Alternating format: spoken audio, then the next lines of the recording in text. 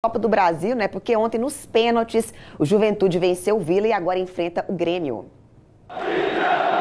Mais de 20 mil torcedores no Serra Dourada para a definição do último classificado nas oitavas de final da Copa do Brasil.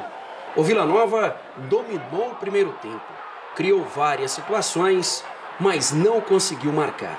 Na segunda etapa, o Juventude se postou mais firme na defesa e impediu que o time goiano fizesse o gol. Placar final 0 a 0.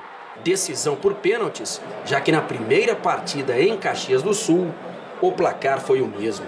E nas penalidades, Dalberto atacante errou a primeira cobrança do Juventude.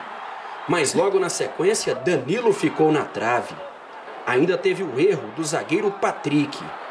E a última cobrança foi de Bruno Alves, classificando o Juventude.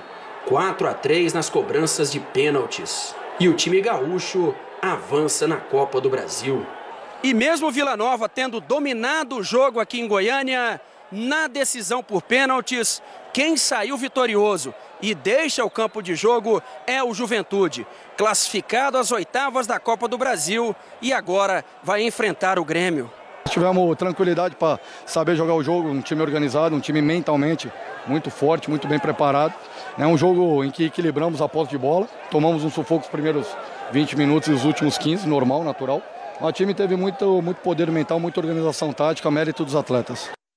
20 mil torcedores lá no Serra Dourada para apoiarem o Vila Nova, mas não deu certo. Lembrando que o Vila Nova é treinado pelo Eduardo Batista, né, André? É, e o Juventude já tinha passado pelo América Mineiro e tinha eliminado também o Botafogo. Então a campanha do Juventude faz jus a essa classificação. Não pode se dizer que não tenha sido merecida, por mais que o Vila Nova tenha pressionado no jogo de ontem. Vamos lá, para encerrar.